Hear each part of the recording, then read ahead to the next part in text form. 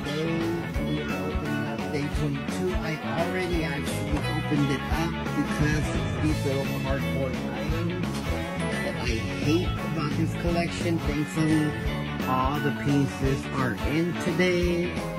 So I don't know. I don't. I, look, look at this. Just fell. So these are just like supposed to be here. And it's cardboard guys.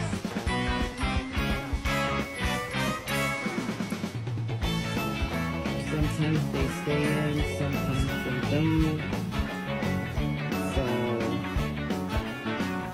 boom. How does it stay? So that was day Tomorrow we will be opening up 23. So thank you so much for staying tuned. The box looks a hot mess, but it has been 23 days, 22, 23 days. So yeah. See you guys later. Bye-bye.